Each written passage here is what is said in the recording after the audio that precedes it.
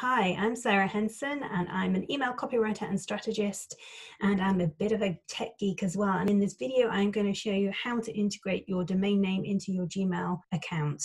Now, before I get into the tutorial, I just want to direct you to the link in the description that is the blog post that goes along with this tutorial so that you can get the background of why I suggest using Google, why I suggest using Gmail, why, in fact, I would recommend using G Suite instead of integrating into your Gmail account.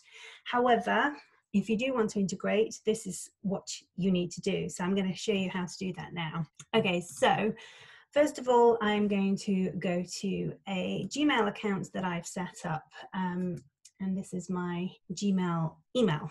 So what we want to do is create a email that is your domain name that comes into your personal Gmail account. So I'm using a, a Gmail account which is the Sarah Henson at gmail.com. And what I'm going to do is set up, for example, if I wanted my business email, which is hello at sarahhenson.co.uk, to be sent to this personal Gmail account, this is how we do it. Um, first of all, what you need to be able to do is wherever you have your domain name hosted, so your website, so mine is sarahhenson.co.uk, I have that um, names hosted at Namecheap.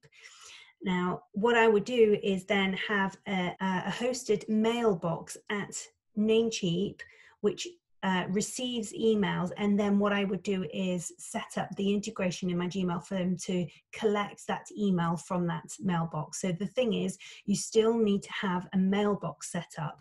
So that's what you would do. I'm actually going to show you a different account that I'm going to integrate into this personal email account because mine is already set up with a G Suite account. So my hello at Sarah Henson is already a G Suite account. So I'm actually going to use an account that I manage. So this is in SiteGround, and I've created a new email um, support at pgaplumber.co.uk. And what I'm going to do, uh, I'm going to go into this area here, configure email clients. And this is what we need. These are this information here. So what you need to do is create a mailbox with your domain where your domain name is hosted and get these secure settings so that you can then integrate it into your Gmail account. So what we're going to do is go back to your account, your Gmail account, you go to settings, see all settings, and we go to accounts and import. Now you see there are two sections here, send mail as and check mail from other accounts. And you need to integrate both things so that you can receive emails and send emails with the domain name. So we're going to add support at pgaplumber.co.uk into here. So we're going to so we're going to click here, add another email address. Hopefully you'll see that pop-up box. And what we're going to do, this is to send mail. So what we'll do is enter the email address that we're using. We're going to treat it as an alias. And then we, what we're going to do is add in the details. So let's just pop here. So we're going to use the outgoing server. And so the server details are pgaplumber.co.uk, which has already been pre-filled. And then the SMTP port is 465, which has already been pre-filled. We add the username, which is support at pgaplumber.co.uk. And then we just add in the password that we create the account that we use to create the account. Now, it'll ask you to verify your um, email accounts, but this is a, a this is where a lot of people get tripped up because how can you get your email if you haven't attached it to an email account? However, whenever you set up your email account here, you can you get, access it through webmail. So if we go into access webmail, it'll allow me to go in and you'll see this email has already been sent here. So I can open that, find my confirmation code, bring back my yellow box, and then copy and paste that in there and verify. And that disappears. And you'll see now that that is now present there. Now we need to do the other one, which is to check mail. So we need a, um, the incoming mail. So we add a mail account, the yellow box pops up, and then the email address again.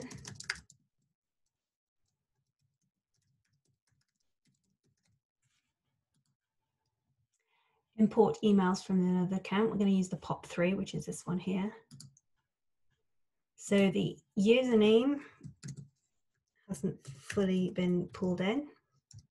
Use the password that we created the mailbox and the POP server is again PGA Plumber.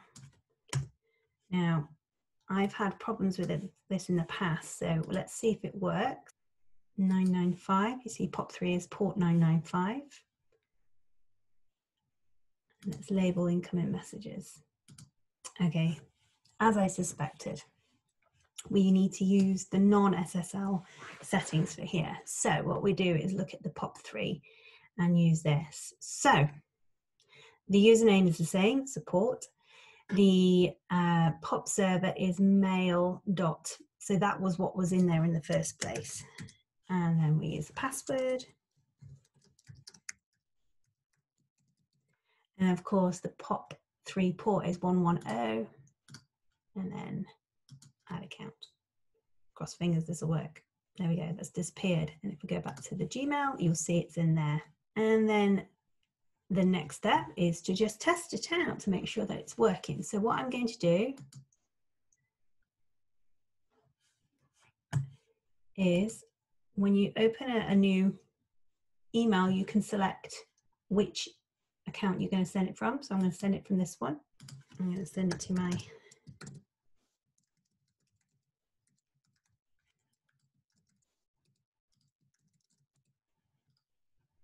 and send. Now I'm going to go away and check that that comes through. Okay, so I'm in my Sarah Henson accounts, my G Suite, and this has come through. See, the subject line is test, and it's come from support at PGA Plumber. So what I'm going to do is reply, received, and send that, and see if it comes back into our old other accounts.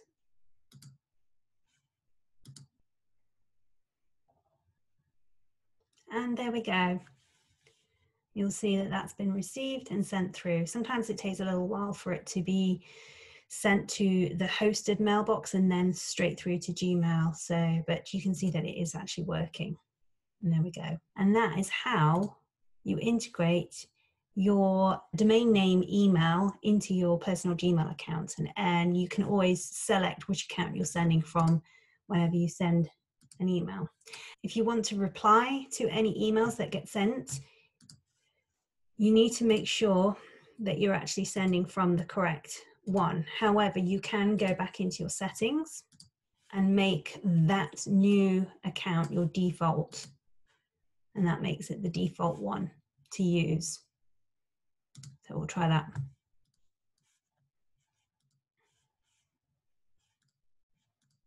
There we go, it automatically selects the support.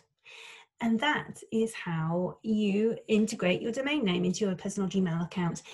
If you'd like more tips, tricks, and hacks on how to handle your emails, your copywriting, and the tech that connects all, then be sure to uh, subscribe to my channel, hit the bell button so that you get notified, and I'll see you in my next video. Bye.